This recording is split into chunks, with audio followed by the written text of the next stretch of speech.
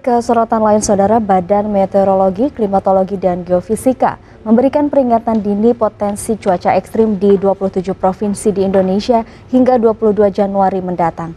BMKG mengimbau masyarakat agar tetap waspada terhadap potensi cuaca ekstrim yang dapat berpotensi menimbulkan bencana hidrometeorologi berupa banjir, banjir bandang, tanah longsor, dan angin kencang. Dan untuk membahasnya, pagi ini kita telah bergabung bersama sambungan daring dari Deputi Bidang Meteorologi BMKG Guswanto. Selamat pagi, salam sehat Pak Guswanto.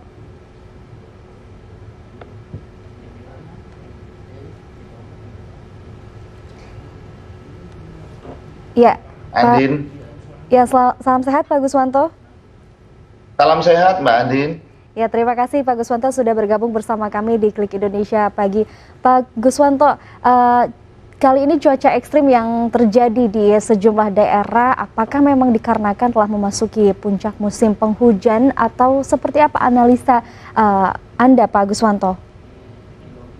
Uh, kalau kita lihat Andin dari uh, perakiraan BMKG memang uh, saat ini Januari itu merupakan puncak musim hujan 2021-2022 untuk Januari itu sendiri yang mengalami puncak musim hujan itu adalah di uh, Sumatera Selatan bagian barat, Lampung, kemudian sebagian besar Pulau Jawa, Bali bagian selatan, sebagian NTB, sebagian uh, NTT, Pulau Kalimantan bagian selatan, sebagian uh, Sulawesi dan kemudian uh, Maluku dan Papua bagian selatan untuk bulan Januari 2022. Sedangkan di Februari itu juga masih ada lanjutan nanti yaitu Sumatera Selatan bagian tengah, kemudian sebagian uh, kecil Pulau Jawa, kemudian NTB, NTT, Papua Barat dan bagian timur dan Papua bagian utara.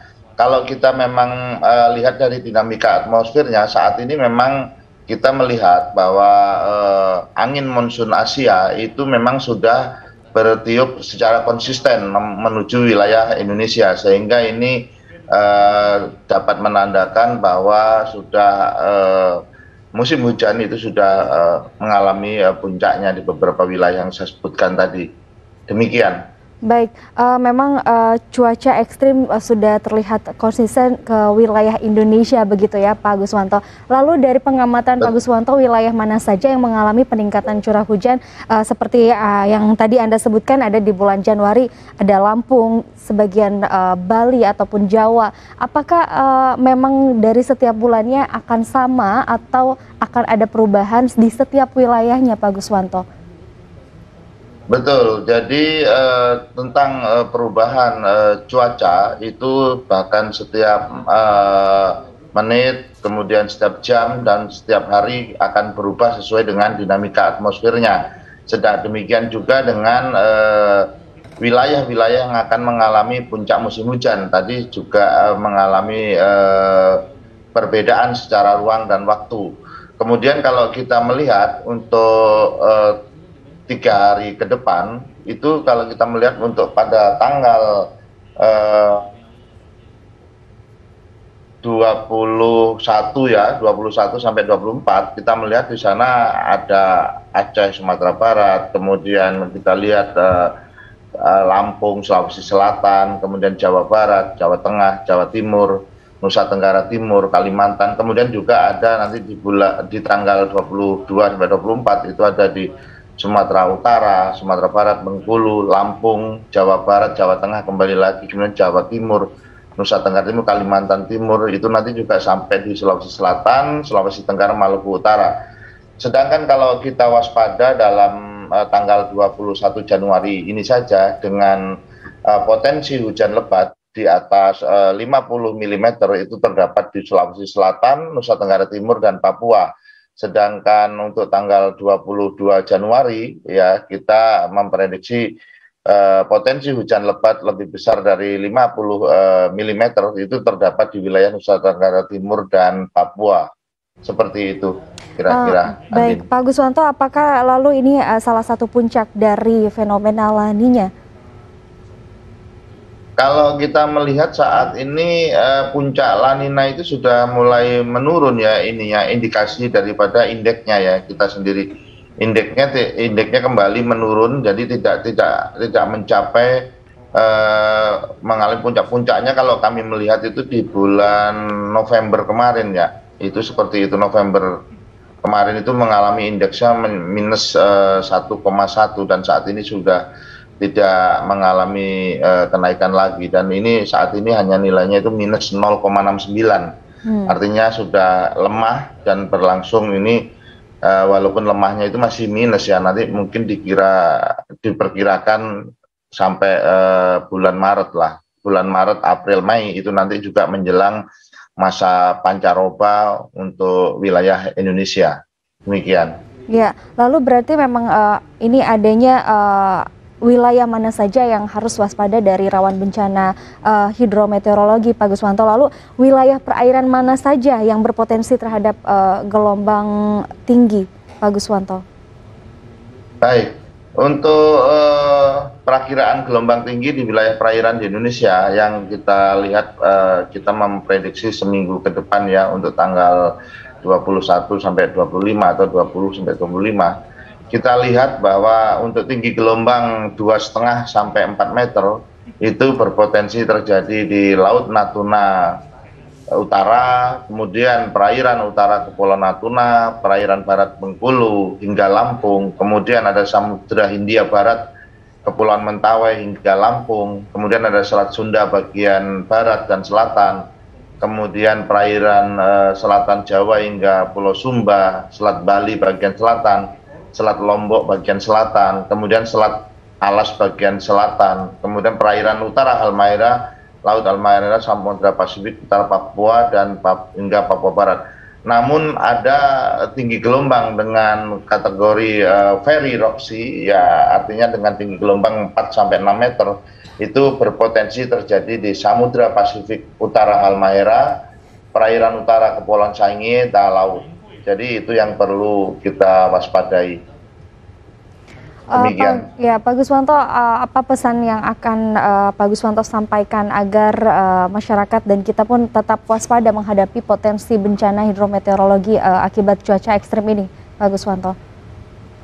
Baik, Anit. Bagi BMKG selalu menghimbau kepada masyarakat bahwa saat ini memang adalah uh, puncak musim hujan untuk beberapa wilayah uh, di Indonesia seperti yang saya sebutkan tadi sehingga masyarakat agar tetap waspada terhadap potensi terjadinya cuaca ekstrim yang menyebabkan terjadinya bencana hidrometeorologi misalkan berupa banjir, banjir bandang, tanah longsor dan angin kencang dan beberapa bencana hidrometeorologi lainnya. Yang kedua, kami berharap uh, masyarakat juga lebih mengenali lingkungan dan uh, potensi bencana di lingkungan tempat tinggalnya karena salah satu upaya mitigasi yang sesungguhnya itu adalah memahami cuaca dan mengenali lingkungan tempat tinggal kita sehingga dapat mengurangi dampak apabila uh, nanti muncul uh, dampak daripada bencana hidrometeorologi yang datang sewaktu-waktu. Kemudian juga BMKG menghimbau agar masyarakat tetap mengupdate informasi cuaca dari BMKG baik itu cuaca publik, cuaca penerbangan, dan cuaca maritim. Ini melalui kanal-kanal yang tersedia, melalui call center 196, website BMKG, sosial media info BMKG, di Instagram dan YouTube, serta dapat juga mengupdate melalui telepon uh, pintar info BMKG. Dan selalu dalam bencana hidrometeorologi kami juga menghimbau saat ini juga masih uh, ada uh, pandemi COVID sehingga prokes tetap harus dijalankan dengan ketat walaupun di wilayah yang terdampak bencana hidrometeorologi. Demikian.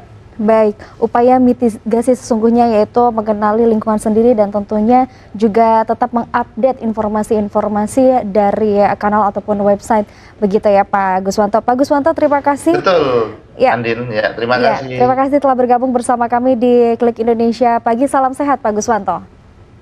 Salam sehat selalu, terima kasih. Saudara cuaca ekstrim yang terjadi beberapa hari ini seperti hujan lebat dan angin kencang terjadi di sejumlah daerah di tanah air. Hal itu mengakibatkan banjir yang merendam pemukiman warga, tanah longsor dan puting beliung di beberapa titik. Berikut sejumlah rangkuman kejadian bencana hidrometeorologi akibat cuaca ekstrim. Banjir yang merendam pemukiman warga di RW 02 Kelurahan Tegal Alur, Jakarta Barat belum juga surut sejak empat hari lalu. Banjir akibat luapan dari kali Semonggol yang tidak bisa menampung curah hujan dan pasang air laut ini merendam ratusan rumah warga. Ketinggian banjir masih beragam sehingga sebagian warga masih mengungsi ke rumah sanak saudara mereka. Warga berharap banjir akan segera surut sehingga bisa beraktivitas kembali seperti biasa. Warga mengharapkan bantuan dari pemerintah jika banjir terus merendam pemukiman rumah mereka. Hujan deras mengguyur Pekalongan, Jawa Tengah dan membuat sejumlah sungai meluap hingga merendam rumah warga. Ratusan warga di Pekalongan, Jawa Tengah terpaksa harus mengungsi akibat luapan sungai yang membanjiri tempat tinggal mereka yang berada di bantaran sungai hingga ketinggian lebih dari satu meter. Para pengungsi tersebar di lima titik, salah satunya di Gedung Serbaguna Kelurahan Kauman. Meski air saat ini telah surut, sejumlah warga sebagian telah kembali ke rumah mereka untuk membersihkan rumah dari material lumpur bawaan banjir. Hujan lebat mengakibatkan beberapa wilayah di Kabupaten Kepulauan Sangihe, Sulawesi Utara terendam banjir. Badan Penanggulangan Bencana Daerah BPBD setempat mengimbau warga untuk tetap waspada terhadap cuaca buruk yang masih bisa terjadi hingga Februari mendatang. Longsor juga terjadi di sejumlah ruas jalan Tahuna Tabukan Utara. Kepala BPBD Sangie, Wandu Labesi mengatakan longsor tidak menutupi keseluruhan ruas jalan dan saat ini sudah dapat dilalui kembali. Banjir menutup akses jalan utama lintas provinsi di Kecamatan Sungai Aur, Kabupaten Pasaman Barat, Sumatera Barat akibat meluapnya aliran Sungai Batang Air Haji. Sejumlah kendaraan tidak bisa melintas karena genangan arus air yang cukup deras. Banjir juga berdampak terhadap sejumlah rumah warga di sekitar jalan utama lintas provinsi. Sejumlah warga terpaksa harus mengungsi sementara waktu ke rumah keluarga terdekat. Petugas dari BPBD, TNI, dan Polri bersama masyarakat setempat berusaha membantu warga yang terdampak banjir. Saudara Badan Meteorologi, Klimatologi, dan Geofisika Nusa Tenggara Timur memperkirakan potensi curah hujan tinggi disertai dengan angin kencang dan gelombang tinggi di wilayah perairan Flores, Nusa Tenggara Timur. Kondisi ini membuat nelayan di perairan Flores Timur tidak berani berlayar dan enggan melakukan aktivitas pencarian ikan untuk sementara waktu. Para nelayan di Pelabuhan Pendaratan Ikan Amagarpati, Kecamatan Larantuka, Kabupaten Flores Timur, Nusa Tenggara Timur memilih untuk tidak melaut hingga kondisi perairan mulai membaik. Nelayan memilih untuk beraktivitas memperbaiki jaring serta membersihkan kapal di pesisir pantai, sementara sebagian nelayan lainnya memutuskan menambatkan armada tangkapnya di daratan.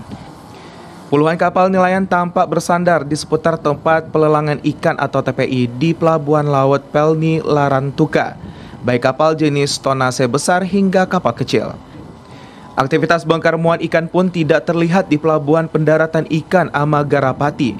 Kondisi cuaca buruk seperti ini membuat para nelayan tidak bisa berbuat banyak. Para nelayan enggan memaksakan diri untuk melaut agar tidak terjadi bencana yang tidak diinginkan ketika melakukan aktivitas penangkapan ikan.